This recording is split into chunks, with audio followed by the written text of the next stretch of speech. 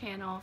If you are new here, my name is Ashley and I post new Disney slash DIY videos every single week and today's video is a DIY video. Um, my best friend and I actually bought these books a couple, like probably about a year, year and a half ago. It is the My Ultimate Bucket List book and what it is is there's 300 pre-selected bucket list items I mean anything from like go on a safari um, earn a medal or trophy in a competition sleep in a hammock um, really just anything and everything that you could think of or things that you wouldn't even think of and then there's also a hundred blank ones in the back where you can pick some ideas of your own. Um, but we got these books, um, obviously with the plan of starting it. Um, I have yet to start mine. I think she's done a couple in hers, but every time we go to try and pick what we want to do, we can never decide.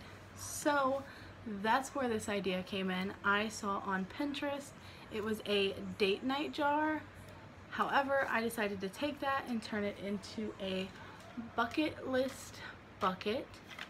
So each popsicle stick, there's 300 popsicle sticks. I actually have two buckets because they wouldn't all fit in one. So I had to find a bigger bucket. But there'll be 300 popsicle sticks, one for each of the pre-selected bucket list ideas. And we will go through and draw one. And that's the one that we'll do. So this craft was super easy to do, super inexpensive, so we're just to jump right into it. Okay, so for this project you are going to need paint, however many colors you want. I used four different colors. You're going to need some popsicle sticks. The jumbo kind works the best. You're going to need a paintbrush, some Sharpie markers, a bucket, and your bucket list. You're going to start by taking your popsicle sticks and you're just going to paint the first side. Super simple. It doesn't take very long. They dry super fast. Um, I because I used four colors and there is 300 bucket list items, you will use 75 of each color. So I did all of one color and then moved on to the next color. Um, blue was the last color that I had to do. So once I got all of those painted, then you're going to flip them all over to do the back side. Like I said, they dry super, super quick. By the time you finish painting all 25, the beginning's already dry. So, um, I just flip them over in their spot and then we'll paint the other side from there. This, I will say, has to be one of the easiest crafts that I've done so far. And I can't wait to get started on the bucket list. Um, so now I just go through and just like uh, doing the other side, I just paint the back side and uh, um, let it dry, which again, it doesn't take very long. So I will say it is time consuming just because you have to do 75 of each color. Um, but I think once I finished, I really liked it. It was really cute. I just need to find a bigger bucket to put them in because that way I can put them all together.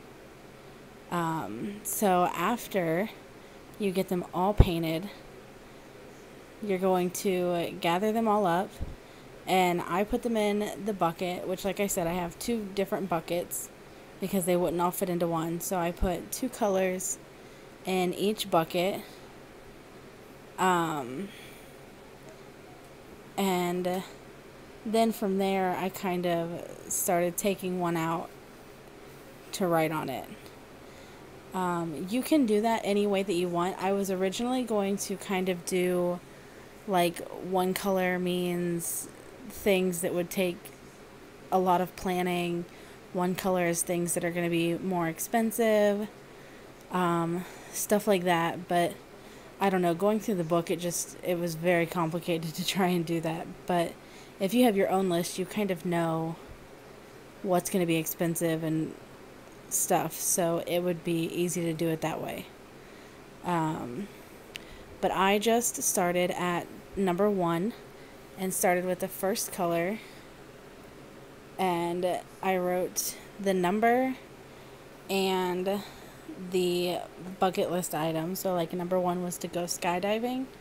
So, I wrote number one and then skydive or go skydiving. And then flipped it over and wrote the same thing on the other side. You don't necessarily have to write that on both sides, but um, I just think it gives it more of a completed look if you've got it on both sides. So I just did that for the rest of the numbers and just kept going in the same color pattern. So I did blue, pink, orange, yellow, and yeah, that was that was basically the end of it and it was super simple. I can't wait to start my bucket list and yeah so that was how to make the bucket list bucket. Super easy super simple.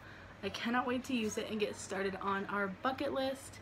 If you would like to see kind of our adventure in our videos doing these things let me know down below. It would be a kind of a cool little series to do and it would be something that I could do with my best friend uh, which makes it even better. Um, but that's all I have for you guys today. Don't forget to hit that subscribe button if you are not already subscribed. Give this video a thumbs up and just have a super magical week. Bye guys.